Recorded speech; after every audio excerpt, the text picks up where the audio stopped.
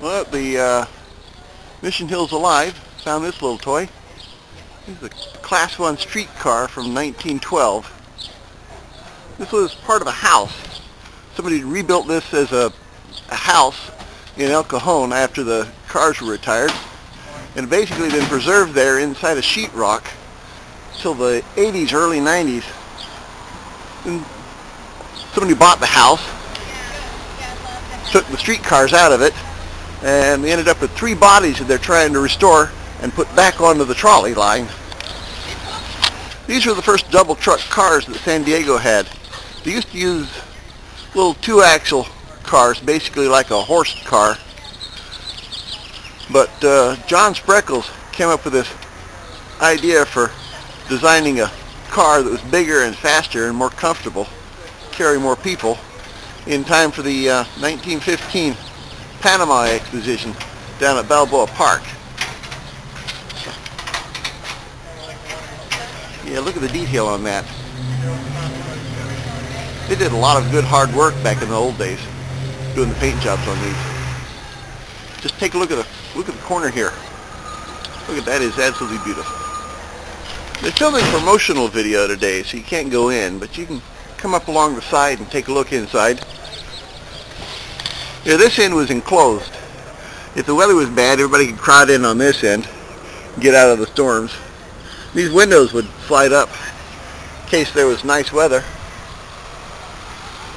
They had very plush seats back then. See, those had the uh, velvet covers.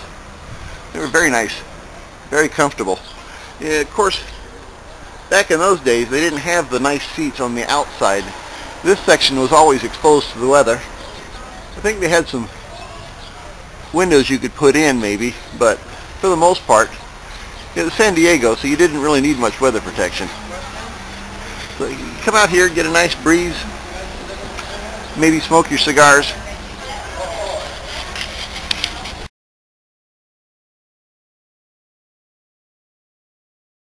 Start. If that side's enclosed, he's Uh-huh. about to close the two doors. Yeah? So on the cold, drizzly mornings, you could be warm on that end. Yeah.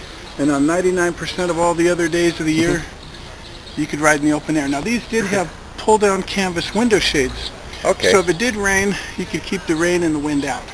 And the window shades ran in the grooves. You can see them on the other side. Mm-hmm. So they were actually pretty rigid. So and you- they would serve to keep out the wind or the sun or whatever people wanted. See, you could get a little protection from the weather in, in the winter. Yeah, definitely. It could seal them up pretty tightly because they were kind of uh, like bars within the canvas that would ride in the grooves. Yeah. So they were pretty taut when they were pulled down.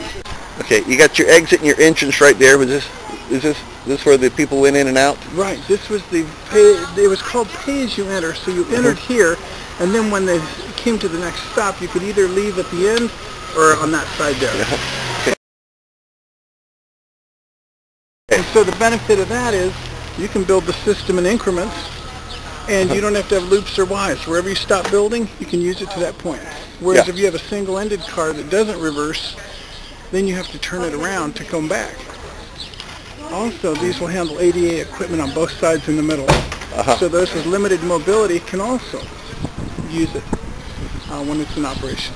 So when this is rebuilt, it's going to have a uh, uh, operator stand at each end. There'll be an operator stand here and an operator stand at that end.